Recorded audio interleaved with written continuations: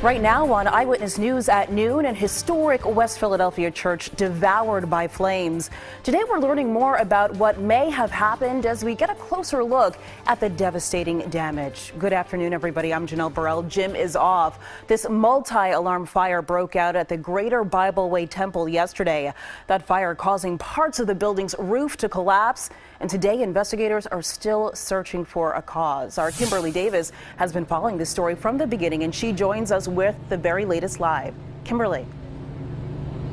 Janelle, the block is still roped off in yellow tape and police remain on the scene after a piece of West Philadelphia history was destroyed yesterday afternoon. But the good news is the church is not a total loss, and leadership tells me they plan to rebuild. Now that the blaze is out, we are getting a better and closer look of the extensive damage left behind from yesterday's blaze.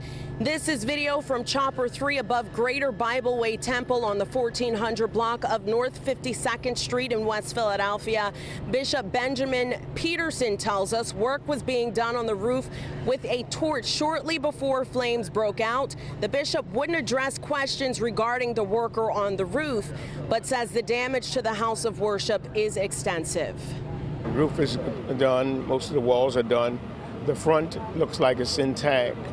Uh, we'll probably try to hold on to the front for historical purposes. The church also served as a shelter, so those residents who lived inside of the building are now displaced.